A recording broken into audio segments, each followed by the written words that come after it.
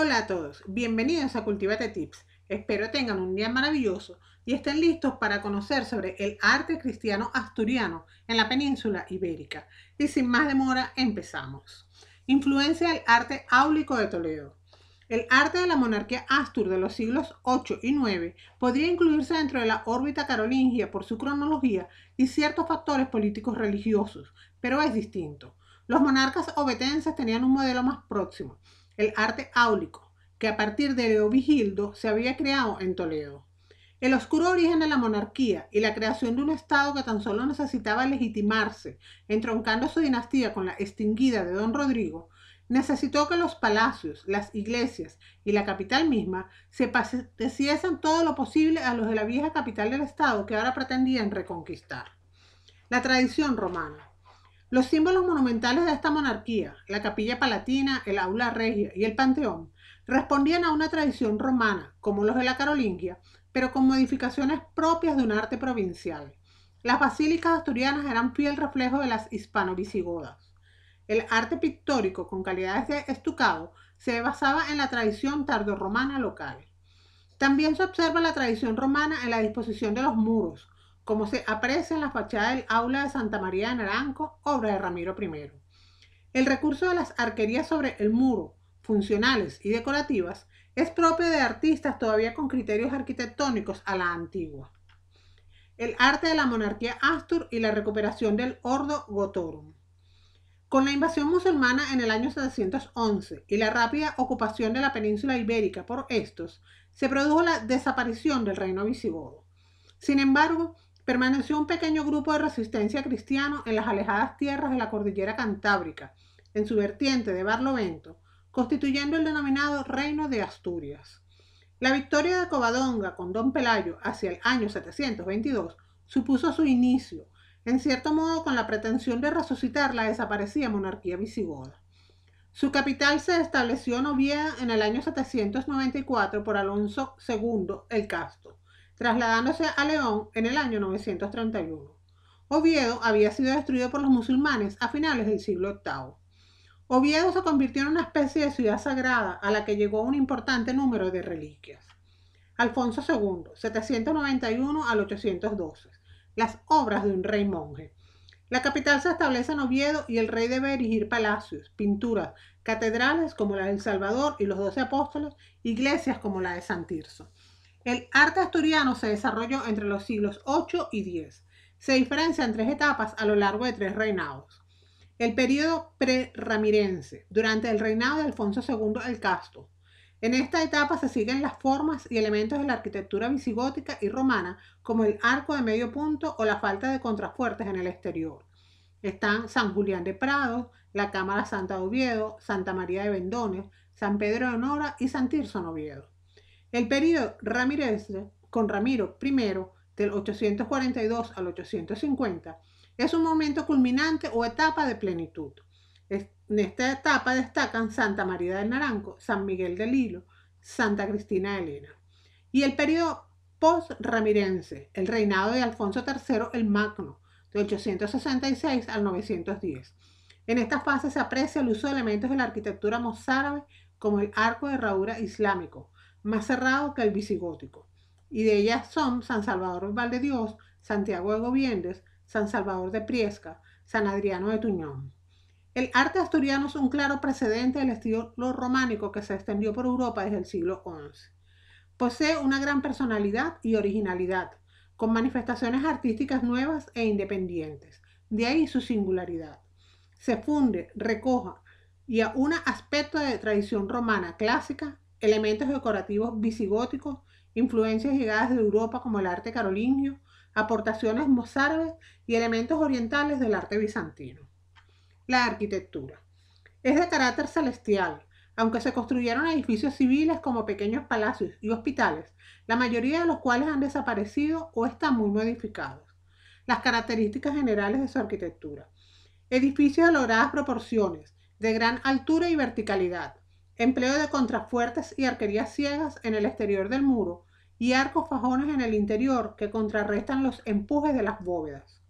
Los muros de los edificios suelen combinar los grandes sillares de piedra y la mampostería. Gran variedad de soportes. empleo del arco de medio punto clásico bastante peraltado, con capiteles corintios o de tronco piramidal, sostenido por pilares de sección cuadrada, atreviéndose al ensayo del cruciforme. También emplearon los arcos de herradura y el aparejo de ladrillo. Cubierta generalizada de bóvedas, especialmente de cañón, aunque en la primera etapa predominó la techumbre de madera. Predominio de la planta basilical de tres naves con amplio crucero.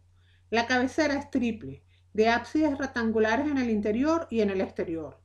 Encima de la capilla mayor suele encontrarse una cámara secreta o cámara del tesoro, accesible desde el exterior por una ventana.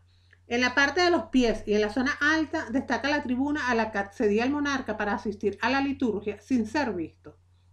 Al cuerpo del edificio normalmente se le añade un pórtico lateral o porche. Escasez de vanos y uso de ventanas geminadas. Riqueza ornamental motivos de cintas y discos, sogueado decorando el fuste de las columnas, medallones y celosías de origen romano. En la primera etapa destacan las pinturas murales en el interior, especialmente en San Julián de Prados, aún sin descifrarse, y de gran parecido a la pintura de Pompeya. En la etapa ramirense, la arquitectura presenta los siguientes cambios, o construcciones más estilizadas, o edificios totalmente abovedados o uso del arco de medio punto peraltado, o uso de contrafuertes, o el paramento se trabaja con mayor minuciosidad, o sigue apareciendo la tribuna. En el periodo post-ramirense se incorporaron elementos del arte musulmán como el alfiz, capiteles de influencia islámica, arquillos de herradura, etc. En general, las iglesias prerrománicas asturianas mantienen la planta basilical con una o tres naves. El transepto, que mantiene el iconostasio y ábsides rectangulares. Normalmente el ábside que corresponde a la capilla principal tiene una cámara secreta donde se escondía el tesoro y a la que se accede solo desde el exterior. El elemento más característico es el uso de la bóveda de cañón, el arco de medio punto romano, en sustitución del arco de herradura visigótico, y el arco peraltado, específico del arco asturiano. En el interior de las iglesias las columnas son sustituidas por pilares que generalmente no tienen capitel. En el exterior, los muros presentan pequeños bloques de piedras tallados de manera irregular, sillarejo y mampostería. Destacan las ventanas geminadas ricamente ornamentadas con celosías y molduras, y los sólidos contrafuertes que soportan el peso de las bóvedas. Una vez levantado esto, todo el ceremonial de los godos, tal y como había sido en Toledo, lo restauró por completo en Oviedo, tanto en la iglesia como en el palacio. Esto se debe al deseo de restaurar y evocar a la de Toledo visigoda destruida por los musulmanes. Oviedo no imita el arte carolingio, sino el hispanogodo toledano. La crónica albedense o vigilano del 861 es un manuscrito anónimo redactado en latín y finalizado en el 881. Es un formato de crónica histórica. Relata pasajes de la historia antigua y de Hispania y supone una de las escasas fuentes conservadas de estudio del periodo final de la monarquía hispano-visigoda, la invasión y asentamiento del poder omeya en la península y la génesis del reino de Asturias. Habla de Alfonso II, donde construyó el templo de San Salvador y los doce apóstoles, entre otros.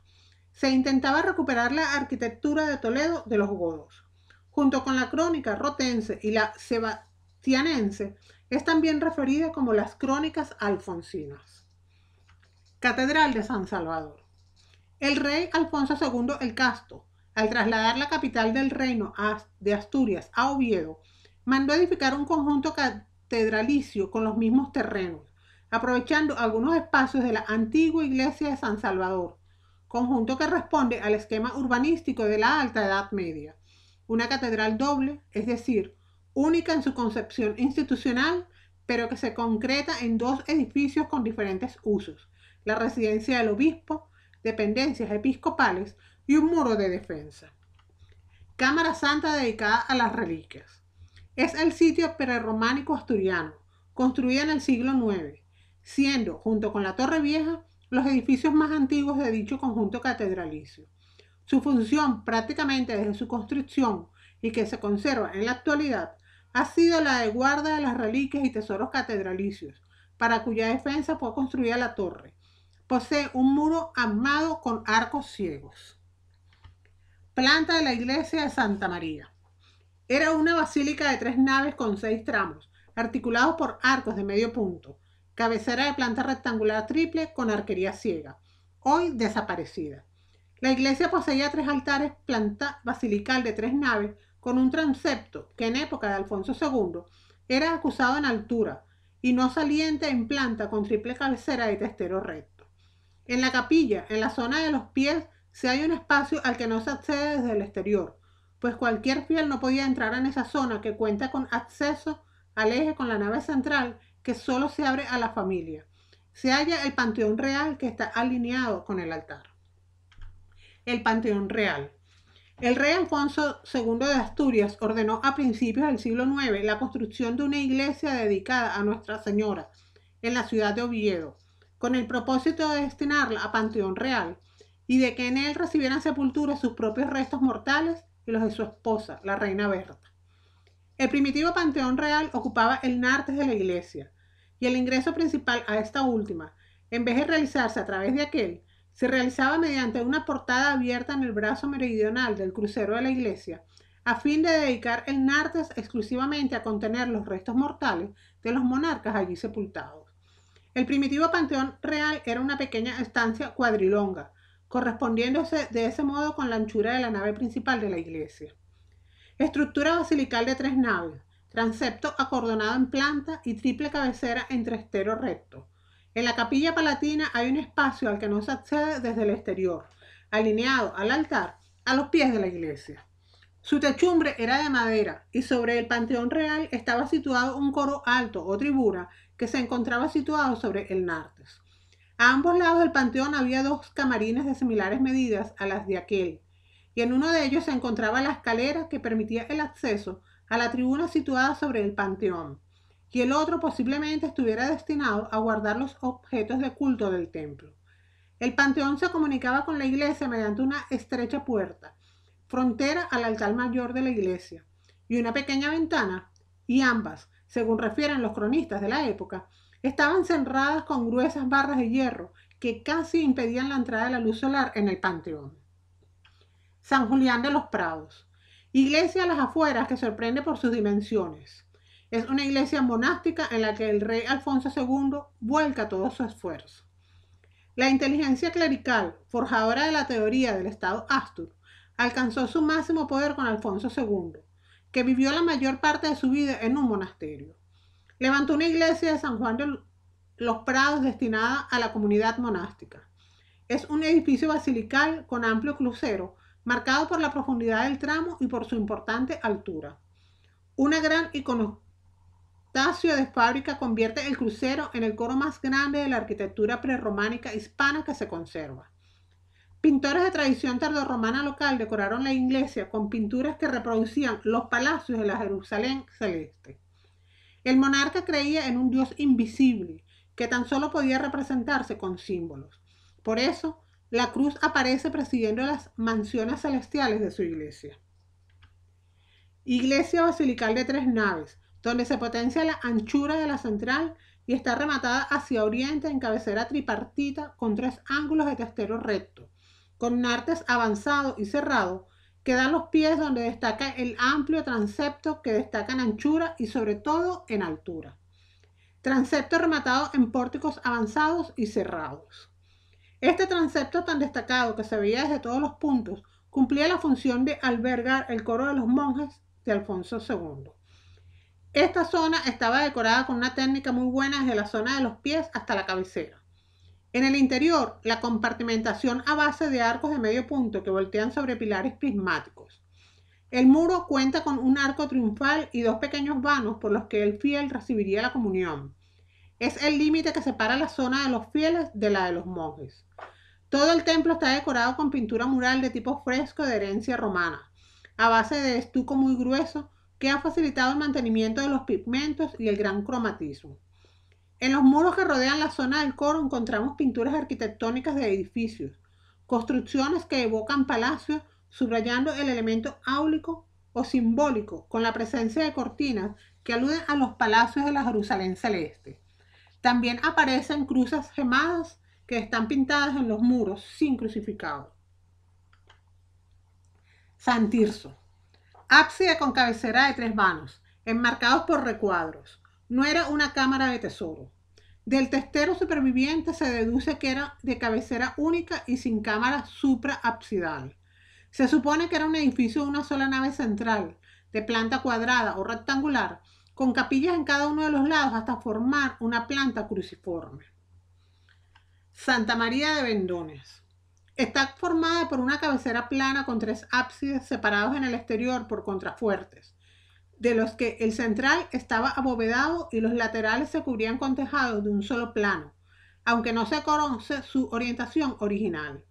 Disponía de una ventana en cada uno de los ábsides, además de otra que apareció en las primeras excavaciones, formada por tres arcos de herradura sobre columnas y capiteles de pobre decoración, y enmarcada en un alfiz semejante al de San Tirso de Oviedo.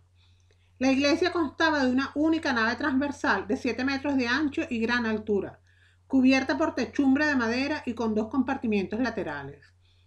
Cuenta con ventanas de tres vanos que según el edificio puede variar de arco y que suele estar enmarcado por recuadro.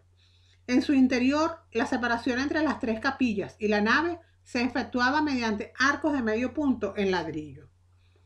San Pedro de Nora. Se compone de tres naves separadas por pilares con cabecera tripartita, cuyas capillas se comunican entre sí y están abovedadas mientras que el resto es de techumbre plana. Encima del ábside central está la habitación secreta, con una ventana al exterior de tres huecos. Hay un porche de entrada y la nave central se ilumina con tres celosías por cada lado. Importancia de las reliquias. Al igual que los carolingios, los asturianos poseían el importante tesoro espiritual de las reliquias, que empezarán como el principal ornato de sus oratorios y terminarán siendo determinantes en la concepción arquitectónica del edificio. En Aquisgrán se adoptó una capilla centralizada con origen en las construcciones martiriales constantinianas. En el Palacio Obetense de Alfonso II, el oratorio o cámara santa también tiene antecedentes martiriales, pero de forma longitudinal. Tiene dos plantas, la inferior destinada a depósitos de cuerpos santos y la superior a la capilla, dedicada a Santa Leocadia. Coincidencias con el arte hispano-andaluz.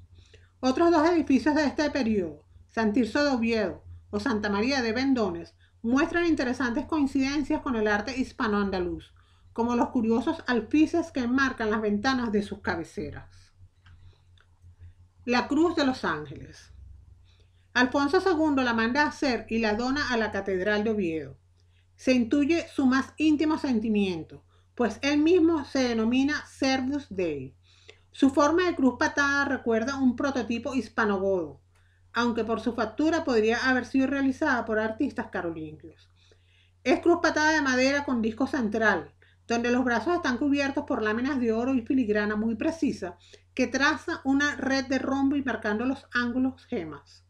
También aparecen camafeos y entalles romanos que son reaprovechados con la intención de aludir al imperio romano a la hora de fundar su nuevo reino, para legitimar su poder. Cuenta con inscripción de que alude una frase de Constantino. Este símbolo vence el justo, con este signo se vence al enemigo. Y cuenta con el nombre del monarca. Ramiro I, 812 al 830, y las obras en el monte Arango. Monarca muy poderoso y trascendente en la lucha contra musulmanes. Espacio áurico integrado por la iglesia de San Miguel del Liro y el palacio de Santa María del Naranjo. Con este rey los edificios de Noviedo se abovedan con bóvedas de cañón recorridas por fajones que requieren un elemento de soporte al exterior, como son los contrafuertes en los muros exteriores. Se mantiene la idea de construcciones basilicales de tres naves con testero recto y cabecera hacia el exterior y oriente. San Miguel del Liro. Nave central de mayor altura y cada tramo con cubierta independiente que cambian de eje, longitudinal y transversal en las naves laterales. Presencia de ventanas con motivos de sobreados que reproduce una soga. Están clausuradas con celosías y al interior una entrada con escaleras que lleva a la tribuna que cuenta con puertas, cuyas jamas encuentran con escenas de molduras sogueadas de marques con motivos circenses antinaturalistas, que iconográficamente representan al gobernante sentado en trono de escabel, acompañado de dos personajes como imagen del poder que alude a los dípticos consulares de Santa Sofía de Constantinopla. Originalmente tuvo planta basilical de tres naves, pero solo se conserva una tercera parte de su longitud, porque durante el siglo XIII o principios del XIV se arruinó posiblemente a causa de las malas condiciones del suelo. Se conserva únicamente el vestíbulo y el arranque de sus tres naves.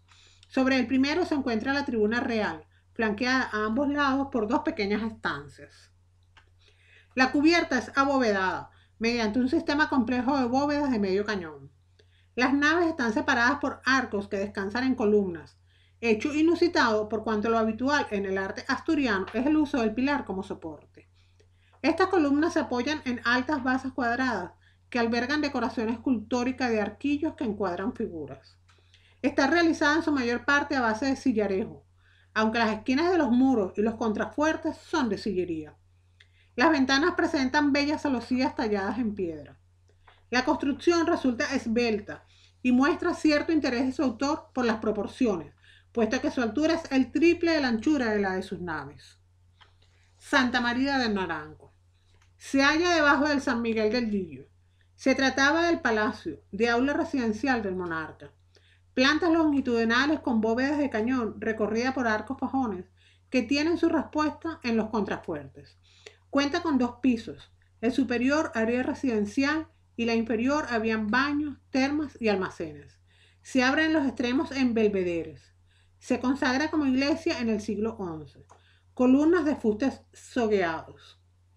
Hay que señalar la recuperación del relieve como decoración antinaturalista, ocupando capiteles y medallones tanto en el exterior como en el interior. Hay orantes, veladores, soldados. No es una iconografía religiosa, sino del poder. En Santa María del Naranco las escenas son un reflejo de la sociedad, como son los soldados. Columnas de fuste sogueado, no solo en las orlas de los relieves, sino en los fustes que se usan de soporte. Santa Cristina de Lena. Columnas con fuste sogueado. Conserva un iconostasio, un elemento de barrera a modo de cancel, reaprovechado de época visigoda, con tres arcos con celosías y pequeños vanos decorativos. Su planta es rectangular con cuatro cuerpos cuadrados salientes, uno a cada lado. El de la cabecera es capilla, el de los pies es pórtico de entrada y los laterales pudieron haber sido sacristías. El pórtico se prolonga en un vestíbulo abovedado que comunica con la nave única y sobre él se alza la tribuna a la que se accede por una escalera de piedra adosada en el muro. La nave se cubre con bóveda reforzada por dos arcos fajones y una arquería ciega aligera los muros laterales con arcos peraltados que descansan en columnas adosadas de capitel prismático y fuste tallado en doble espiral y liso. En las enjutas se repiten los medallones. En el último tramo de la nave se eleva un basamento de un metro de altura al que se accede por dos escaleritas laterales. Sobre este basamento se emplaza el iconostasio, compuesto por tres arcos de medio punto que apean en cuatro columnas con capiteles pseudo corintios. Sobre esta arquería hay un paramento de piedra rematado por otros tres arcos y roto por cinco celosías de piedra, dos en las enjutas y tres en las luces. El iconostasio cierra su parte baja con un cancel de mármol tallado. En la pared del fondo de esta cabecera, que tiene tres arcos ciegos, se abren dos nichos laterales y la capilla central. La época de Alfonso III, del 866 al 910. La reconquista avanza al Valle del Duero, por lo que empiezan a entrar en relación con otras formas que existían en los picos de Europa. Se promovieron obras civiles como la fuente de Foncalada. Es una fuente de agua potable y el único vestigio o resto de construcción con fin de utilidad pública de la Alta Edad Media dentro de la ciudad. Está considerado el monumento civil en uso continuado más antiguo de España.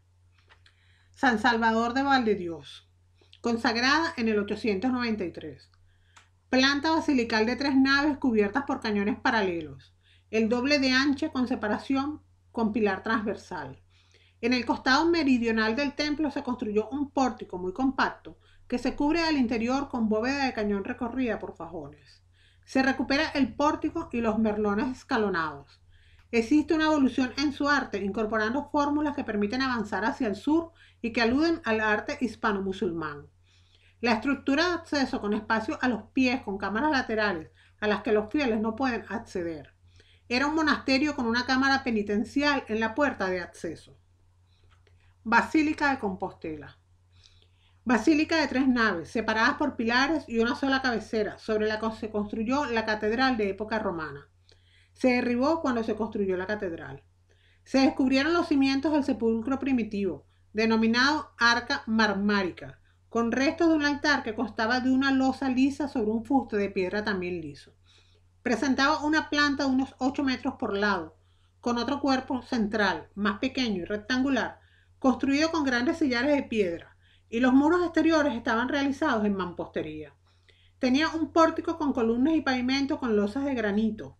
Una orla de mosaico romano rodeaba la tapa del sepulcro. La iglesia que mandó a construir Alfonso II respetó la antigua celda del sepulcro. Se derrocaron las columnas y se construyó un muro cerca del arca marmoria en forma de nave con un pequeño ábside y finalmente se cubrió todo con una techumbre de madera. Arte figurativa escultura y pintura. Tanto la escultura como la pintura están al servicio de la arquitectura.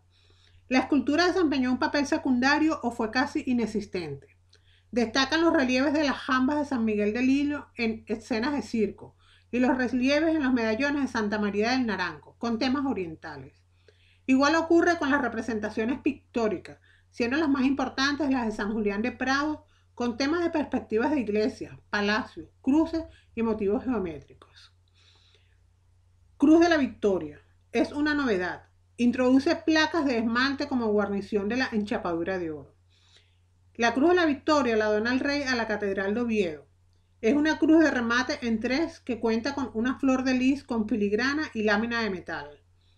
La Cruz de la Victoria es de tipo latino y está formada por dos piezas de madera unidas en el centro de la cruz donde se encuentra un compartimento para albergar reliquias. La cruz está recubierta con oro, esmaltes y pedrería tallada o en forma de cabujón, y su estilo muestra ciertas semejanzas, en opinión de diversos autores, con la orfebrería carolingia del siglo IX. Arquetas y eucarística en la caja de Astorga del 900, con tapa piramidal truncada, anicónido, filigrana y ágata como elemento decorativo. Fue donada por Alfonso III y su esposa Jimena hacia el año 900. Hecha de madera y revestida de láminas de plata sobre dorada, con técnicas de repujado para las figuras e incrustaciones en diferentes colores, azul, verde y rojo. Ángeles, uno de ellos Gabriel, y árboles estilizados bajo arcadas en los frentes y en la tapa del cordero, símbolos de los evangelistas. La caja de las ágatas fue realizada a principios del siglo X. Es una arqueta destinada a guardar reliquias. Fue donada a la Catedral de San Salvador de Oviedo en el año 910 por el infante Fruela de Asturias, hijo de Alfonso III el Magno. La caja de ágatas, encargada por el rey Fruela II en el 910, fue utilizada como relicario. En su parte superior se colocó unas piezas de esmalte procedentes de un taller europeo. En su base aparecen los símbolos de los cuatro evangelistas y una cruz parecida a la victoria. Hemos llegado al final de la explicación. Espero les haya gustado. No olvides suscribirte a Cultivate Tips si aún no lo haces, darle al botón de me gusta si te ayudé a conocer mejor este tema y puedes dejar tus dudas y comentarios sobre el video en la sección de comentarios. Además, ahora puedes seguirme en mis redes sociales de Cultivate Tips. Que tengas un lindo día. Adiós.